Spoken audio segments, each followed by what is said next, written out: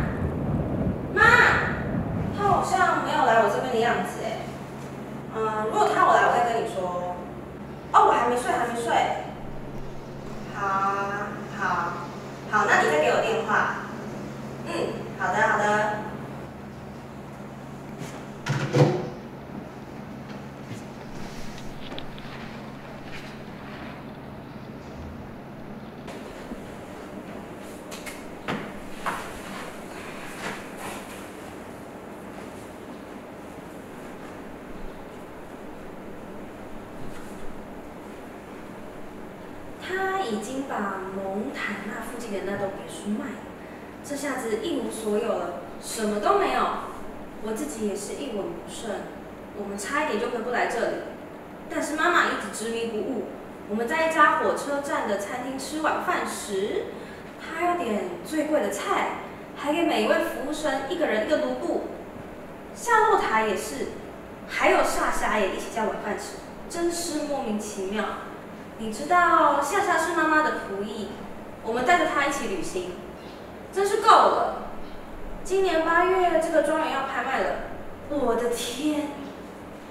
罗巴金在门口探头学母牛的叫声，哞哞，你在干嘛？学牛叫啊。现在不是做这种事的时候吧？契克夫真是个奇怪的家伙。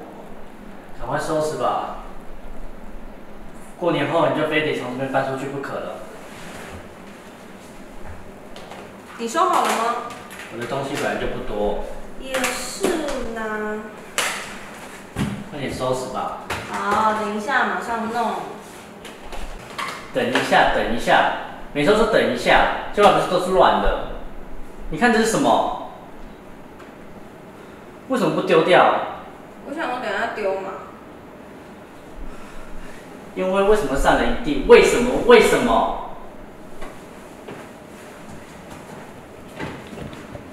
这个什么？普通垃圾跟资源垃圾为什么没有分开？这没什么大不了的吧？破坏地球。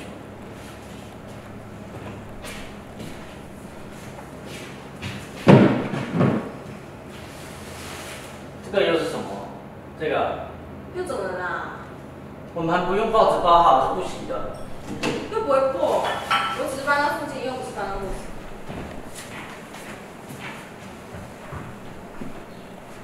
那双筷子有帮我收起来吧，在意式买的那双。没有，为什么？为什么？筷子再买新的不就好了吗？我喜欢那双。我也是啊。那那就一人一只不就好了？不要。为什么？为什么？什么为什么？不要就是不要啊。那是在意式老街买的啊。那间旅馆，我们住的那间旅馆已经倒了，你知道吗？为什么？为什么？拜托你，能不能只说一次为什么就好？为什么？为什么？就十分令人不悦啊！那家旅馆只给了一只龙虾，不是有两只吗？味噌汤里还有。你呀、被骗了。其实只有一只，生鱼片半只，味噌汤半只。是不是只有一只龙虾，所以才倒店的？是因为做生意不认真，报纸有登。一定会倒的啦，只有一只龙虾话。这跟龙虾有几只到底有什么关系？龙虾当然重要啊，因为是意式龙虾。浴池有四五种，有岩石浴池、全家福浴池、快木池，还有露天浴池。我们还在半夜里一起进去过露天浴池，那个时候我好想要你。但是我还是不喜欢。要是被看到的话，但是你却说没有关系。那里看得到海，看到海了，还有远远的渔船，还有星星，没有星星，看到了。因为有鱼，所以没看到。有看到，我记得，因为风很大，在冬天里完全没有云，星星很漂亮。哎，那天是圣诞夜吧？达朗，那天你跟我说的话，你还记得吗？不要再说了，明明是你自己开始的话。你锅烧乌龙面买来了吗？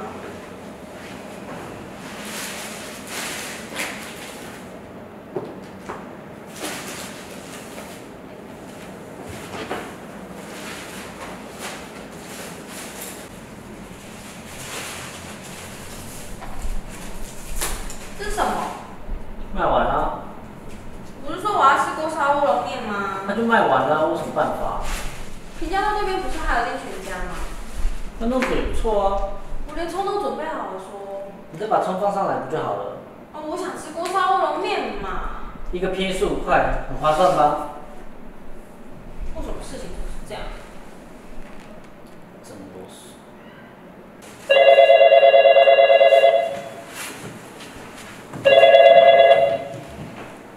喂，啊，阿姨，你那边有电话、啊？因为我到我这边来，到底在哪里迷路了？会让人担心一些不好的事情呢。嗯，像车祸或什么的啊。嗯，因为是，对对，以前也曾经有过，很像是上上周星期天的样子。我从上周回来，看到母亲光着脚站在院子里，吓了一跳。我马上问他说：“你在干嘛？”他跟我说：“樱花快要开了吧？”那么久以前的事情，他竟然还记得。樱花树早在好久好久以前就被砍掉了。以前，在我国小三四年级的时候啊，有樱花树，从家里到前面三栋房子，以前都是我们家的院子啊。阿姨应该还记得吧？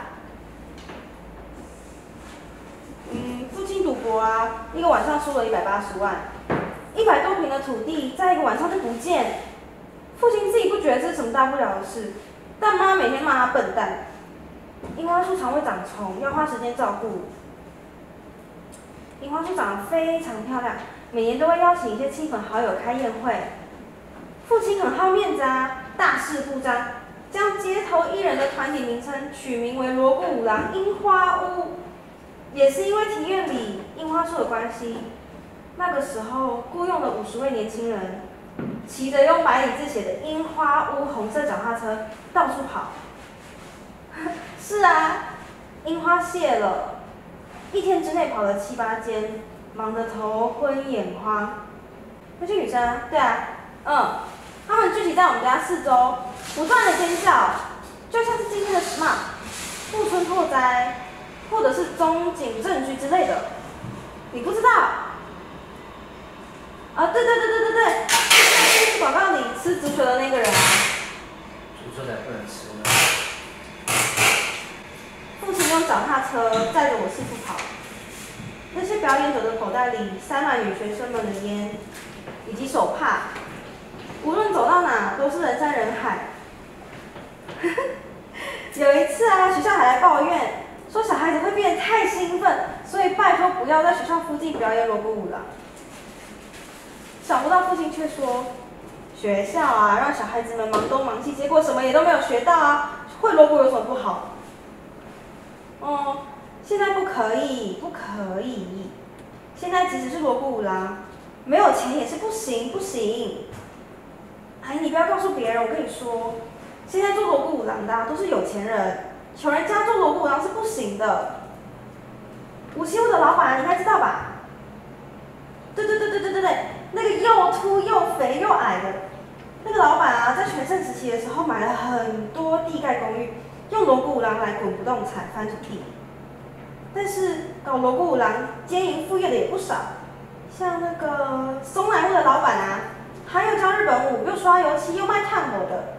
有人笑他说他应该应该不能叫松南屋，而应该叫便利屋才对，专门替人家做那些扫扫地啊、倒倒垃圾之类的工作。骗子。哦哦，要是有什么消息会再联络。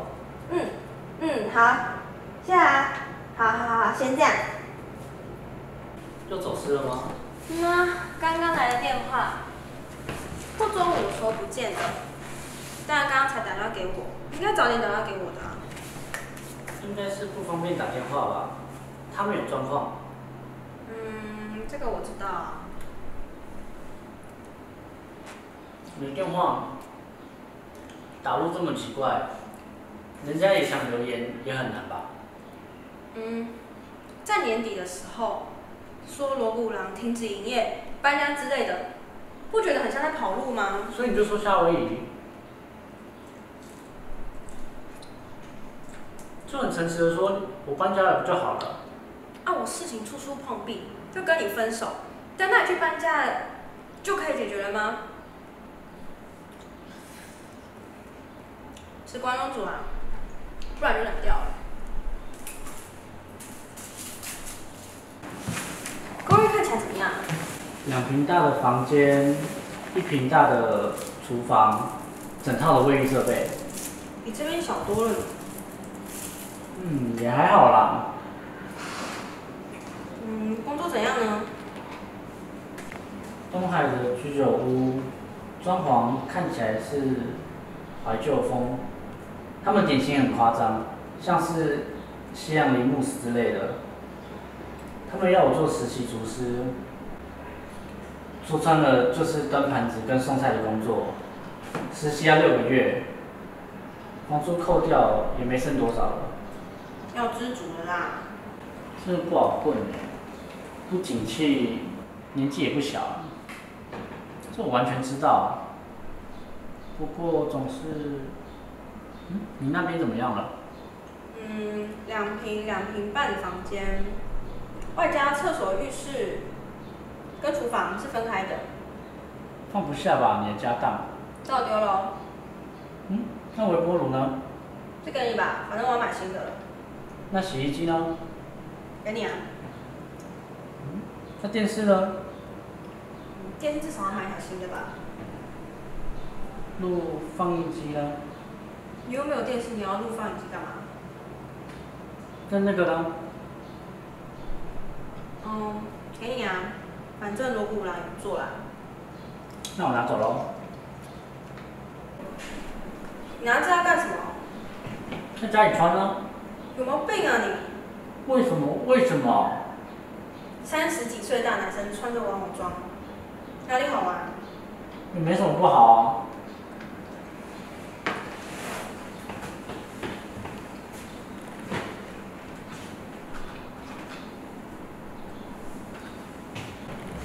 怎么样？说我怎么样？可爱吗？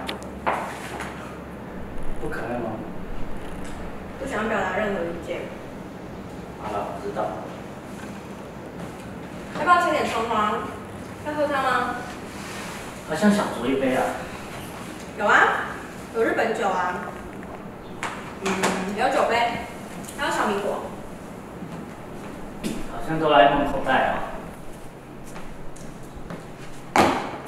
热。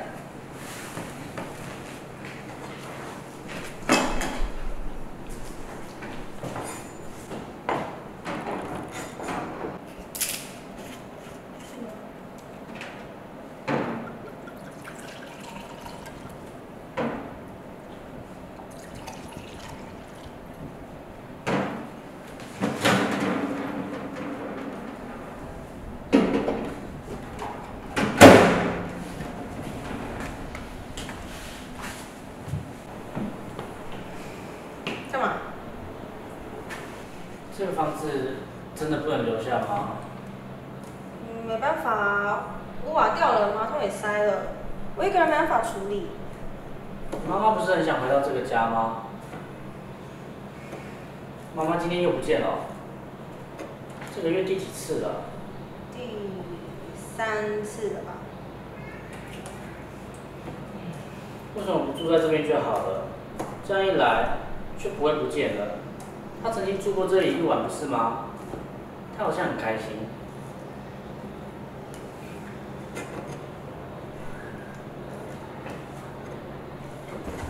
不是连你也都？因为他不想回家，所以只能让他在这边借住一晚，只是这样而已。有一次你不在的时候，妈妈有来过。看到他站在庭院里，所以把他请入屋，在浴室里将沾满泥巴的脚洗干净，然后跟我说：“谢谢您的照顾。”之后低着头说他以前种芹菜的故事。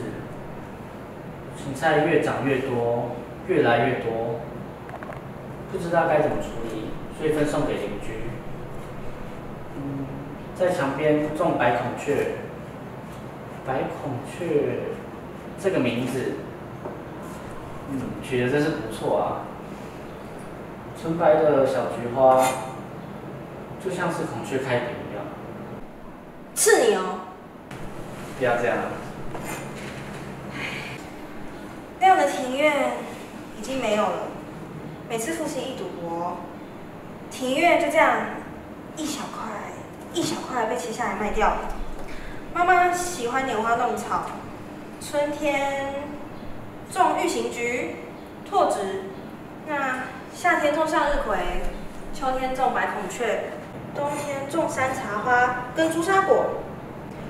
嗯，下雪的时候，鲜红的山茶花跟朱砂果一点一点的掉落，那种色彩鲜艳的感觉，到现在还印象深刻。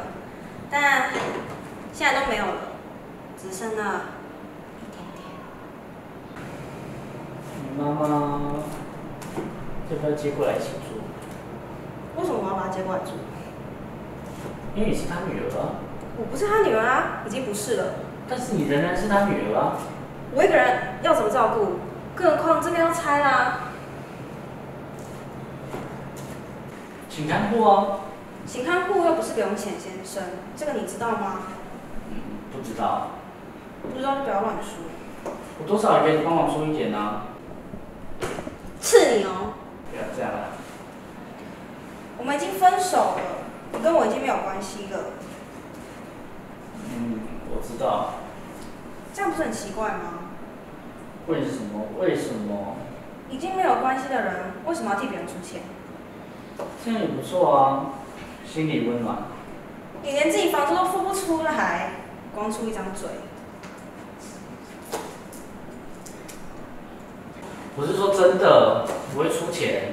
不要说些不负责任的话。你明明什么都不知道。什么事情？我不想说。我的事情你也不知道吧？就好像我有个姐姐。你也叫不出她的名字，你也从来没见过她。我知道她的名字啊。叫什么名字？如果我说根本没有这个姐姐存在，我之前说的全部都是假的，你要怎么办？七年，在一起七年，根本什么都不知道。知道的事情也很多啊。比如说。在你背上肩胛骨地方有两颗痣，右边的小腿因为好玩拔了毛，所以现在长不出来，秃了一片。而且你只有左边的耳朵有长耳毛。说的不是身体。我们去伊势玩的时候，在老街买的海苔很好吃啊，赤福的红豆饼也很好吃。我们还一起买了情人块，也去了伊豆，那里的鲷鱼非常好吃。我们买了咸鱼干跟烟花汁，但没有买到鲷鱼饭。